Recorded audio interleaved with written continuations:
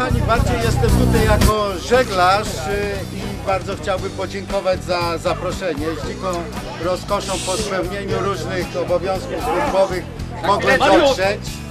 Mogłem dotrzeć i korzystając y, z przyzwolenia y, Zbyszka, chciałbym od razu zaprosić wszystkich żeglarzy, sympatyków żeglarzy, żeglarzy, żeglarki na uroczystości związane z uruchomieniem, z otwarciem miejskiej mariny.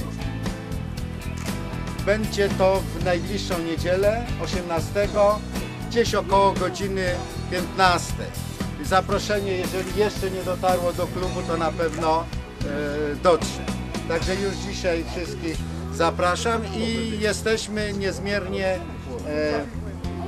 wyczekujemy wszystkich opinii, uwag, e, rad, jak powinna funkcjonować ta marina, e, jak e, usytuowane jest. Miasto się uczy dopiero tego, w związku z tym od wy- wytrawnych żeglarzy oczekuję na różnego rodzaju opinie. Także dziękując za zaproszenie, zapraszam jednocześnie na to otwarcie w przyszłości. Brawo!